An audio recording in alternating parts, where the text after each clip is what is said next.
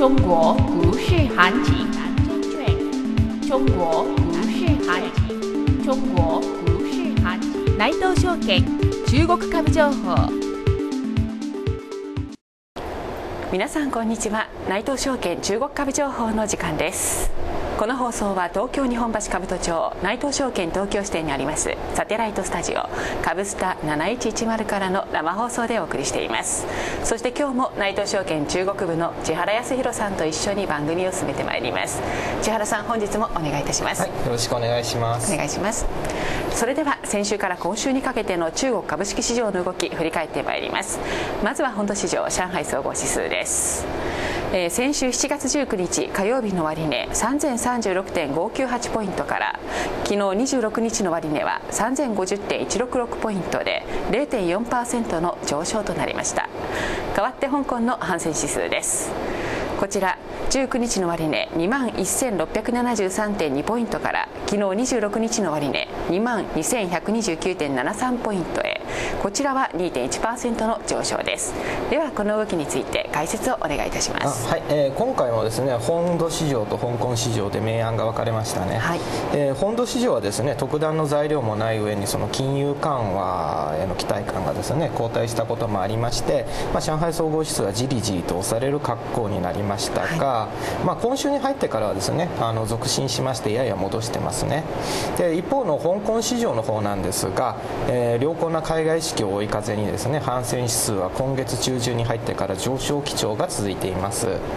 えー、ではまず中国本土市場から見ていきたいと思います。はいお願いします。はい、えー、先週13日水曜日に上海総合指数は約3か月ぶりに終値で3050ポイントを回復しましたが、はい。えー、金融緩和への期待感が後退したことを受けまして、えー、緩やかな下落基調となりましたね、えー、えー、やや大きく動いたのは22日でして、えー、上海総合指数の終値は前日比0.9%安でした、えー、ただ特段の材料があったわけでもなくてですね、まあ、ニューヨーク市場でダウ平均が10日ぶりに反落したことなどが影響した模様ですね、はい。えー、週明けは続伸しまして再び3050ポイントを回復しましたが、えー、アメリカの FOMC を控えて商いは少し閑散としていましたね。はいわかりました。では続いて香港市場移ってまいりましょう。こちらいかがでしたでしょうか？はいえーと香港市場の方はですね反戦指数は昨日までのその5取引日のうち、まあ、4取引日が前日比でですね、はい、えー、上昇となりましたね、えー、21日木曜日の終値は昨年12月24日以来7か月ぶりに2万2000ポイントを回復しています、えー、先週はダウ平均の9日続伸を追い風に上昇しました、えー、週明け25日月曜日はアメリカの FOMC が迫っていることからまあ総じて難聴だったんですが、えー、この日から始まりましたクロージングオークションセッションを経てですね、はい、えー、反戦指数は小幅高で終了しました、えー、そして昨日は、えー、中国本土市場の動きを追い風にですね続伸してますね。はいそのクロージングオークションセッション25日月曜日に導入初日日となりましたが、はい、こちらいかがでしたでしょうか、はい、えーとですね、まずはですねクロージングオークションセッションの仕組みからおさらいしたいと思います。はいお願いします、はいえー、クロージングオークションセッションはですね終値が操作されないようにする仕組みでして7月25日から第1弾が始まりました、えー、対象銘柄はですね反戦総合の大型株指数とですね中型株指数ですね、はい、の採用銘柄です。それとあと A 株と H 株の重複上場銘柄とあと全ての ETF ですね。でまあこれがその,、えー、そのオークションクロージングオークションセッションの流れなんですが日本時間の17時に従来の終値決定方法で参考価格っていうのを決めまして、えー、17時6分までは参考価格の上下5%の範囲内で約定させます、はい、でそれ以降はですね裁量気配の間での注文のみ受け付けるんですね、えー、で最後の最後に、まあ、板寄せを行って終値を決めるという複雑な方法ですね。そうでしたね。はい。で終値が決まるのはこれまでよりも10分後になりました、はい、で導入初日なんですが会員証券会社290社がですねクロージングオークションセッションの時間帯に注文を出しまして、えー、えー、対象となる582銘柄のうち約半分の282銘柄でですね約定がありましたね。でその売買代金は約11億香港ドルでしして、まあ、この日全体の売買代金の約2.2%でした。で注文や約定をめぐって混乱はなかったんですがただクロージングオークションセッションで指数や株価が少し大きく動きましたね。そうなんですか、はい、はい、これはですねあの25日月曜日の反戦指数の日中足なんですが、えー、黄色の時間帯ですね。これは左側が終わり始め値を決めるプレオープニングセッションで右側が終値を決めるクロージングオークションセッションですね、はい、でこの間がザラバです。でこの日は初め値こそ高かったんですが、まあ、ザラバに入るとすぐに下げに転じました。でザラバは前日比マイナスで終了したんですがまあ、青で書いてるようにクロージングオークションセッションの時間帯にですね終値がいきなりこう前日比プラスとなったんですね、はい、マイナスで終了と、ね。うん、思ったらプラスになったって感じですよね、はい、で終値が前日比マイナスとプラスではまあ大きく印象が違いますよね。そうですね、はい。まあ、こうした印象ことも起こりえますので、まあ、香港の終値にはですねちょっと注意が必要となりましたね。そうですね。まだ初日からまだそんなに日も経ってないですからね見ていく必要がありますね。はいはい、えー、ここまでは香港市場そして本土市場の動きまとめてお伝えいたしました。この後は知って得する情報コーナーです。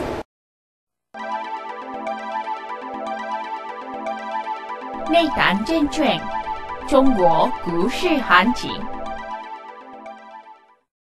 得する情報コーナー。このコーナーでは中国にまつわるさまざまな話題を取り上げています。さあ千原さん今週の話題をお願いいたします、はいえー、今回はですね今月20日に発表されました2016年版のフォーチュングローバル500について話をしたいと思います、はい、でフォーチュングローバル500っていうのはですね、まあ、アメリカの雑誌フォーチュンが毎年発表している、まあ、世界の企業ランキングでして、えー、えー、こちらにその概要を示しているんですが、えー、中国ではですねこれにランクインすることが企業の大きな目標となってるんですね。でまあ類似のランキングとしては、まあ、イギリスの雑誌のそのフィナンシャル・タイムズとかあとアメリカの雑誌の「フォーブス」なども、まあ、ありまして発表す、それらが発表するものもありまして、まあ、中国ではですね全部あのいずれもですねあのかなり重視してされてるんですね。まあ、中国で重視されているという世界企業ランキングですけれど、日本ではあまり話題にならないですよね。そうですね。その世界の企業ランキングっていうのは、まあ、日本企業のですね世界におけるポジションを把握する上で非常に重要だと思うんですが、はい、まあ、ほとんど話題にならないですね。でその原因の一つに、まあ、世界経済の無関心とかあと最近のですね日本賛美の風潮があるのではないかと思いますね。まあ、最近はですね日本や中日本企業を賛美するテレビ番組とか本がこうやたらと目立つようになってるんですけれど、まあ、ちょっと自画自賛っぽいところがこう目についたりもしますね。で、まあ、こうした番組や本でもですね、日本と海外をこう比較することもあるんですが、えー、まあ、大体において日本を持ち上げるために使われたりとか、まあ、日本の立ち遅れが分かるようなその資料とか結構無視されたりすることもあったりとか都合よく解釈されたりっていう状況も時々なんか目にしたりしますね、はい、でまあフォーチュングローバル500のような世界企業ランキングっていうのは、まあ、日本を賛美するという点から言うと全く面白くないんですね。はい、でこれが日本で世界の企業ランキングがこう話題にならない原因じゃないのかとなんか推測しますね。でまあ、しかしですねこうした情報を知らないとその日本という国や日本企業の立ち位置をですね、えー、見誤るその恐れもありますね、はい。まあ、場合によってはその他国を軽視してその国策をとか企業戦略を誤ったりとか、まあ、日本や日本企業の課題や問題点に気づかなかったりすることにもつながりかねませんね。でまあ、企業ランキングっていうのは、まあ、成績表のようなものです。そうですね、まあ、ある意味、はい、点数の低い成績表っていうのは、まあ、捨てたくなるかもしれないですけれど、これを正面から受け止めないとやっぱり進歩っていうのはありませんよね。学生とかでも。まあ、こうした企業ランキングがこの日本で話題にならないという現状がちょっと心配になりますね。まあ、確かにそうですね。自信を保ちつつこう客観視する視点も同時に取り入れていくっていうのは、まあ、成長する上で大切ですからね。はい、はい、では米国の2016年版フォーチューングローバル500について具体的に教えてください、はい、えー、まずはですねそのランクインした500社の国別ランキングなんですが、まあ、企業数で見ますと1位から7位っていうのは、まあ、昨年と全く同じですね、えー、1位はアメリカの134社で、えー、はい、昨年に比べて6社増えてますね。続いて2位は中国本土の103社で昨年から5社増えてます、まあ、これに対してですね日本は3位ですが、はい、まあ、企業数は52社で、まあ、中国の中国本土のですね、まあ、半分程度ですね、でまた昨年に比べて2社減ってます、はい。まあ、中国との差っていうのは拡大傾向にあるんですね、まあ、こうしたなんかその中国なんですけれど日本の場合ある中国なんですがその2007年はですねたったの30社ぐらいしかなかったんですね。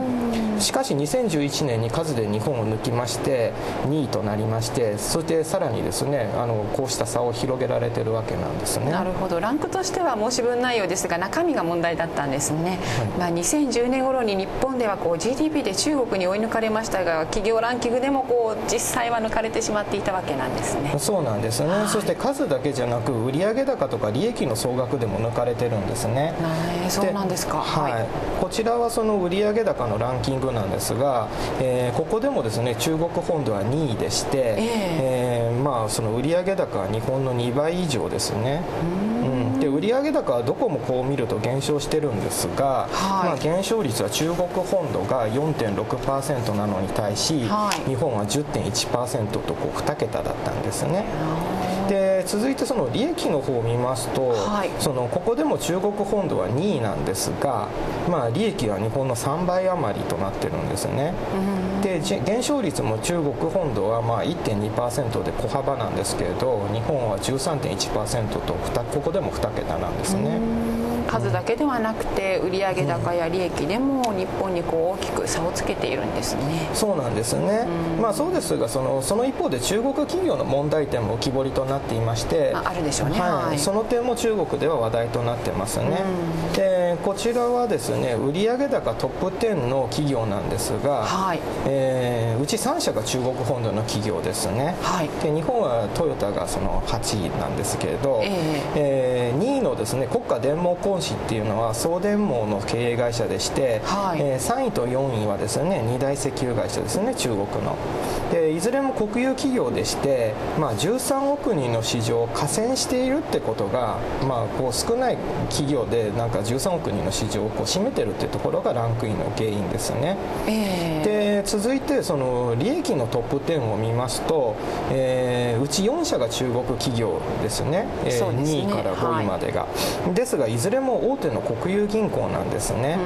でまあ銀行に偏った中国のその利益構造がここからも分かりますね。そうですね、はい、そして体質の古い送電会社ですね。先ほどの売上高のランキングの2位に入ってた送電会社とか3位と4位の石油会社は利益率がちょっと低くてですね、えー、でまあトップ10から外れてるんですね。まあまあこうした問題点ですね。中国の方でも話題にして、まあ、正面から受け止めてるわけなんです、はい、まあなんかまあこうした問題点もあるんですけれど中国本土ではですねこれからランクインしそうな企業がまあちゃんと育ってるんですね。で例えばその不動産大手のですねそのバンカ企業ですね、はい、創業32年目にして今回初めて356位にランキングランクインしましたえこちらにちょっと出してるんですがあとインターネット関係では e コマースの JD.com も初めてランクインして366位だったんですよね、はい、で一方利益水準の高いアリババとテンセントなんですが収益規模が足りなかったことからランクインせずにですね、まあ、今後ランクインしてくるんじゃないかと期待されてますねでまあこうしてみますとですね中国ではまあ新しい企業がですね、まあ、IT の分野とかを中心に数多く育ってるんですね。はいそのようですね。はい。でその一方でその日本はまあ規制が多くてですね、まあ、大手ばかりに有利でベンチャー企業とかですねそうしたのがなかなか育ちにくい環境にあるんですね、でまあこうした状況が続くとですねその中国との差っていうのはまあその企業が育っていかなくて日本がその中国はその企業がどんどん育ってて、まあ、ますます広がっていくんじゃないということが、まあ、危惧されますね。だからまあ日本もねその日本をこう賛美してこう持ち上げるっていうばかりじゃなくて、まあ、こうしたねなんか面白くない現実にもですねちょっと真剣に向き合う必要がねあるんじゃないかと思いますね。はいわかりました、はい、えー、本日は2016年版米国発表のフォーチュングローバル500について千原さんにお話しいただきましたそれでは今日はこの辺で失礼いたします。千春さんどうもありがとうございました、はいありがとうございました。